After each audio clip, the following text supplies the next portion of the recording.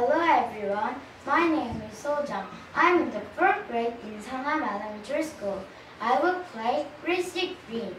Some days, Gracie Green wakes up feeling great. So she finds great green apples in which to play. She creeps through the grass, she crawls through the mud. She searches and searches for apples and spuds. Yes, Gracie likes spuds. You may call them potatoes.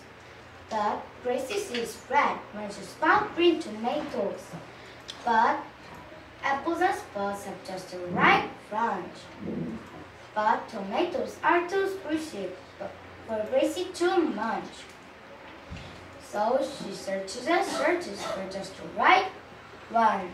Then she munches and crunches and has such a grand fun. She no longer feels gray, grumpy.